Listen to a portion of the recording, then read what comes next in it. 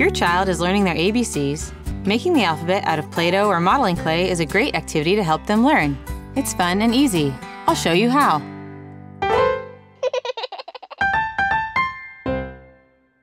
to make our Play Doh alphabet, you need Play Doh and some tools. You can buy Play Doh tools at a toy store or you can use things lying around the house. You need a smooth surface to work on, a hard rolling tool like a can or a jar, a plastic knife to cut with, and then you can use whatever objects you find around your house that might make an interesting texture or shape in your Play-Doh. Let's start with blue and make a letter A. Using both of my hands to apply even pressure, I'm going to roll the Play-Doh out into a rope.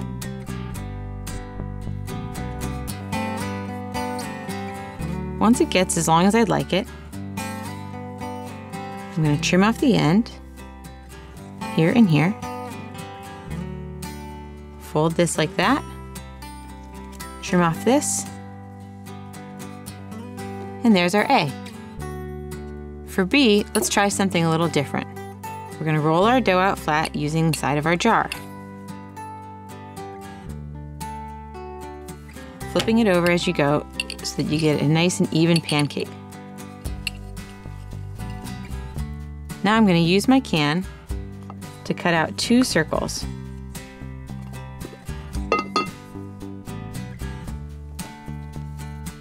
Put them in the middle like this. And then from the rest of my pancake, I'm going to cut out a long line like this and set it along the sides of my circles. Now to make it look more like a B, I'll use my bottle cap to cut out the center of each. Hey, bottle cap starts with B.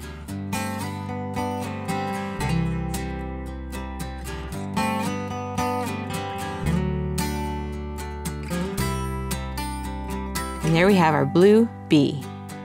C is next. To make the C, I'm going to do another rope with purple.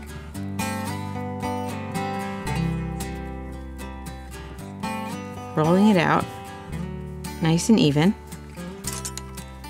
Trim off one end.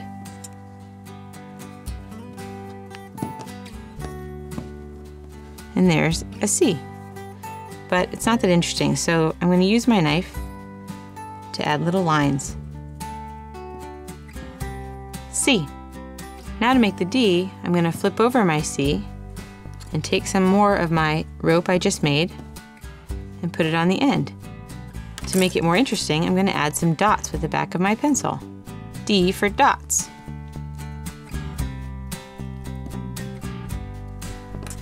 D. For E, I'm going to use purple again. And roll it out flat. Then I'm going to use my knife to cut two equal strips. And I'll trim up the ends to make them neat. and I put one here and cut the other into three parts.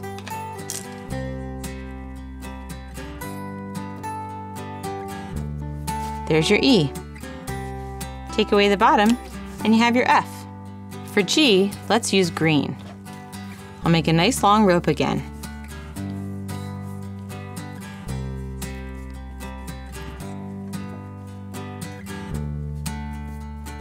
Curve it up Put the end in, like that, and there's your G. For H, let's use our green to roll out a nice big pancake. And this time I want to add some texture, so I'm going to use one of my cans to roll ridges along it. Then using my knife, I'm going to cut a rectangle.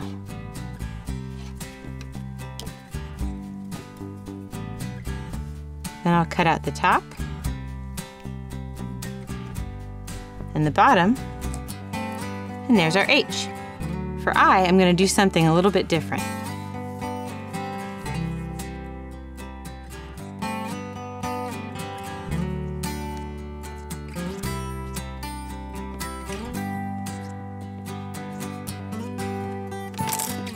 Now I'm going to roll up each little piece and make them into a ball.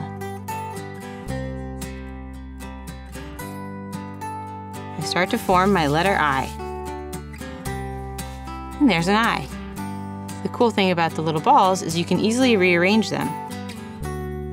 To your next letter, J. Now K. So for K, I'm going to make a thicker rope than I've made before. Using my knife, I'll cut almost halfway down there and cut through the other side too. Flip it this way. Open up the legs, and there's our K. For L, let's do another flat piece. So first I'll make my long rope. Then I'm gonna roll down with my jar, smoothing it out as I go.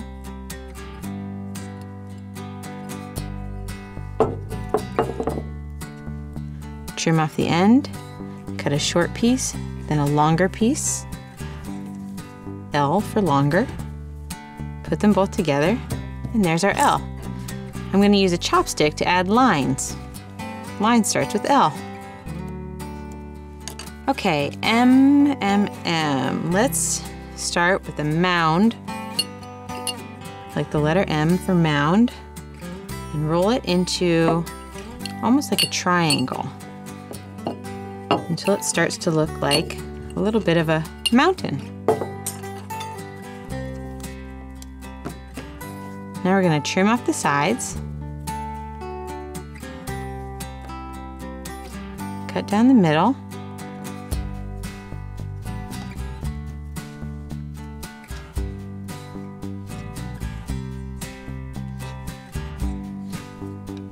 And there's our M and all its beautiful mountains.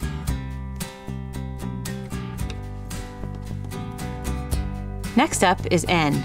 Let's stretch out a piece of rope, nice and long.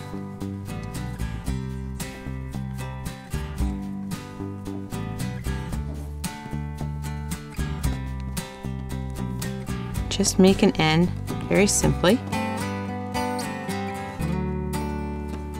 Like that. To make our O, I'll use orange, and I'll roll it into the biggest pancake yet. I'll use my largest can to cut out a circle.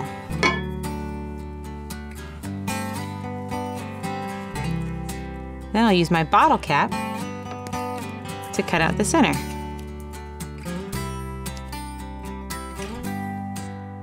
There's my O. For P, I'll cut a long strip from my leftover pancake and put it there. For Q, let's put a little strip in right there. There's our Q. For R, I'll cut the back of our circle off. We'll add a strip back in here and a little leg there. And there's our R. For S, I'm gonna use green again and do something a little bit special. I'm gonna roll out a rope but make it thin at one end and a little bit thicker at the other.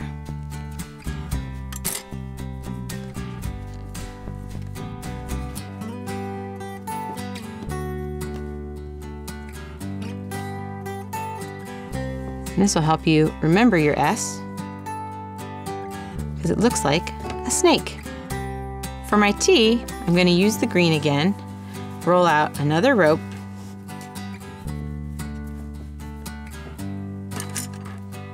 trim the ends,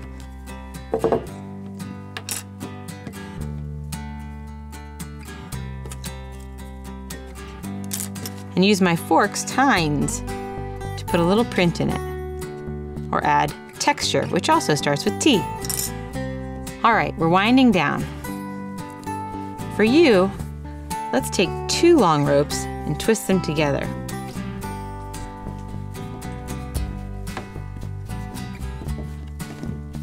Now I'm twisting them up.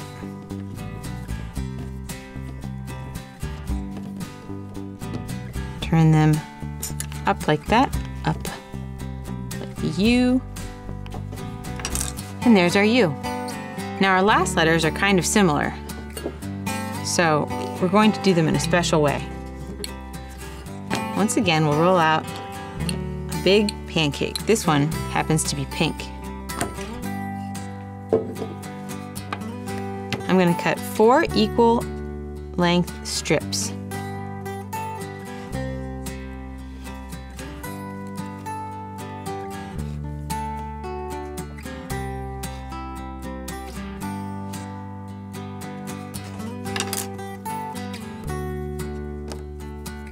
First, let's make our V. There's our V. Then we add two more. There's our W. Now we take those two and flip them over. There's our X. And take one away, we have our Y. For our final letter, we use our strips again shape a Z. But let's make this Z something that kids can remember by giving it a little something extra.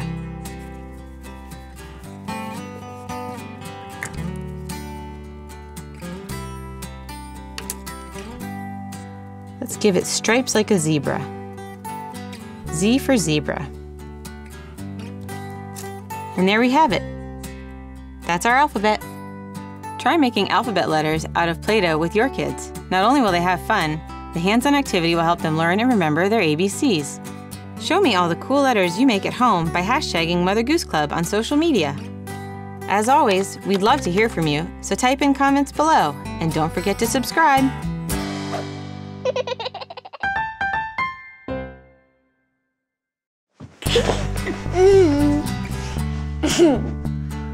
Long time, scientists have been baffled by the smallness of the atom. Hey, I'm Jesse. I have three boys Diego, Zion, and Kingston. I know that reading is important. That's why I encourage them to do it as much as possible. One way to do that is by placing books all over the house. I'll show you how.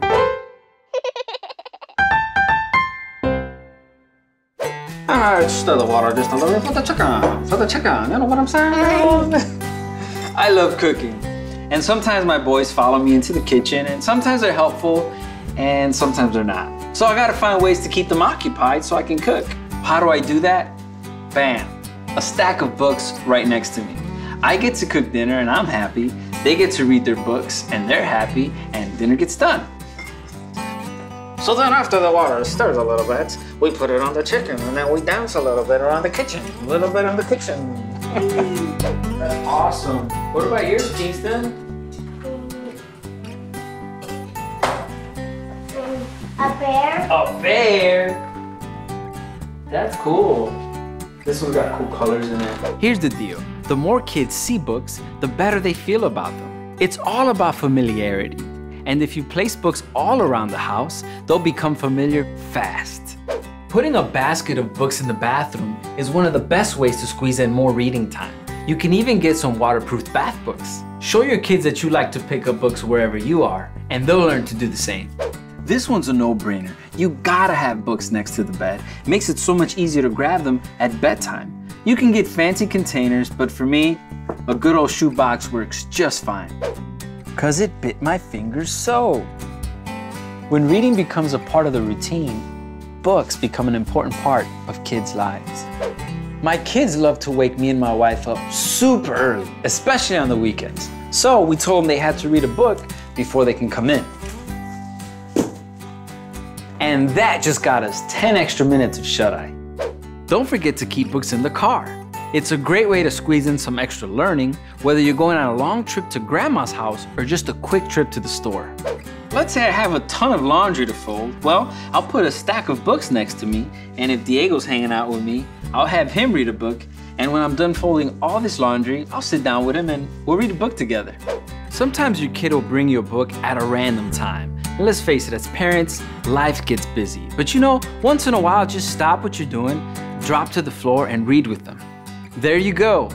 Books everywhere means reading everywhere, and that's a good thing. Mother Goose Club wants to know how you boost book time at your place. So share pictures and videos by hashtagging them Mother Goose Club. Prefer to type your comments? Let us know what's on your mind below. And don't forget to subscribe to be the first to hear about new videos. Until next time, keep stacking those books. See ya. And sometimes these little guys follow in here. Ugh. Books become an important part of kids' lives. Zion, you know you were supposed to be up here. My kids love to wake up.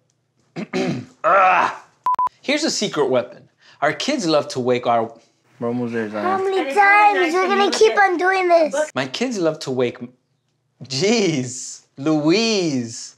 Until next time, keep those stacked. Ah! It's this mic in front of me is making me nervous. That was a.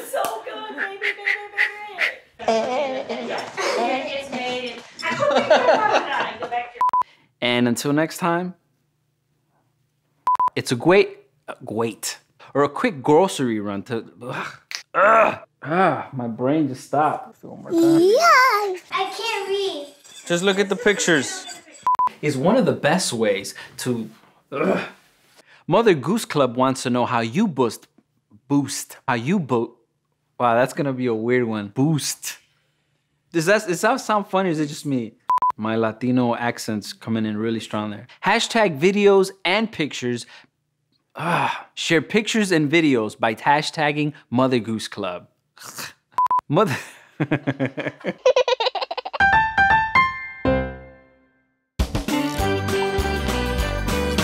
Mother Goose Club Playhouse.